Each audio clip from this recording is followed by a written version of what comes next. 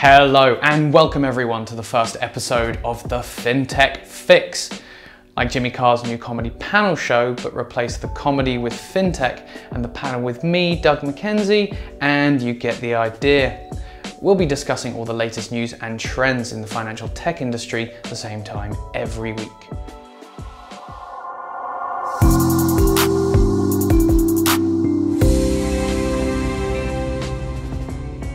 So, first up in the fintech sphere is the news that on the 8th of January, the day with the most divorces being filed, Brits are still more likely to get divorced than to change their bank.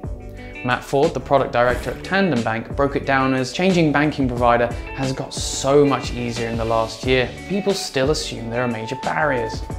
There are so many myths out there that are discouraging people. It's a real shame because with a simple switch, you can see real benefits in your life with money. The move to mobile apps becoming commonplace seems to have had a massive impact on the younger generation, with rapid onboarding processes even supplanting online banking. Now, speaking of divorce, Amazon has made the news thrice this week. Whilst becoming the world's most valuable public company, research commissioned by Pepper found that two thirds, 66% of financial decision makers feel that technology giants such as Google and Amazon will offer retail banking services in five years in the UK.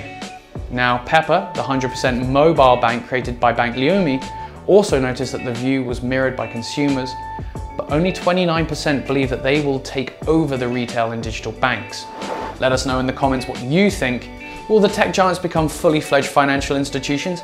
And could they even take over these retail banks? Now, speaking of large banks, N26 has announced a $300 million Series D funding round to become Europe's number one fintech.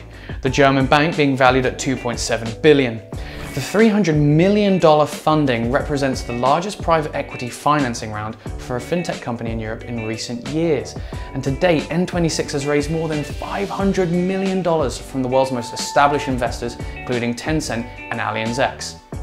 Next week, FinTech Finance, we will have our first episode of the year. The episode features interviews from David Germain, Chief Technology Officer RSA, who tells us where he sees the future of the insurance industry heading, and also Ingo Weber, CEO of DIG, who breaks down the largest challenges that are currently being faced by consumers in the insurance industry and how they are finally resolving them. That's it for this week's FinTech Fix, and thanks for watching. Catch you next time.